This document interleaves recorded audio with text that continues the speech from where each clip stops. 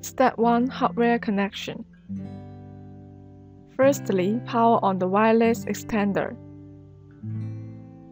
Secondly, connect the wireless extender to computer by a cable. Step 2 Configure the wireless extender. Open the hmm. browser on your computer.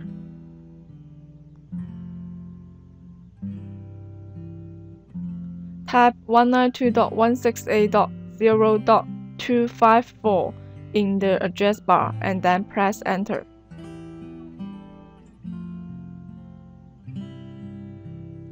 The default login password is admin. Click OK. Click Open Scan.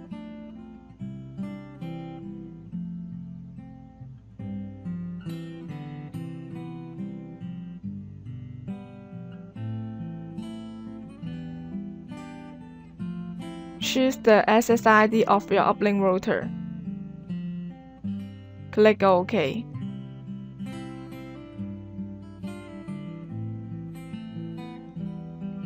Input the security key of your uplink router.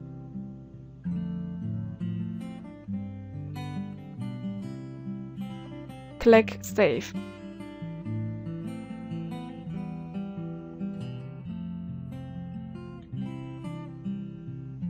The wireless extender will reboot automatically.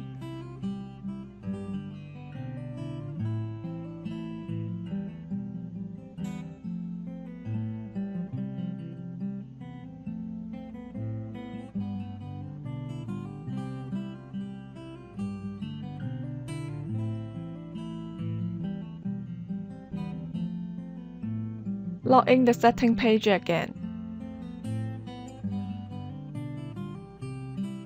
Click System Status.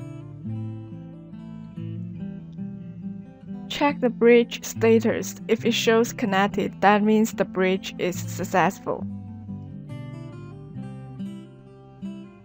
Click Wireless.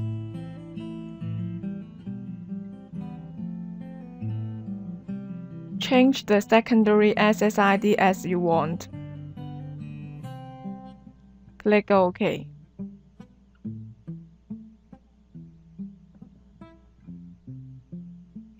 Click Wireless Security. Select the secondary SSID. You can change the security key as you want. Click OK.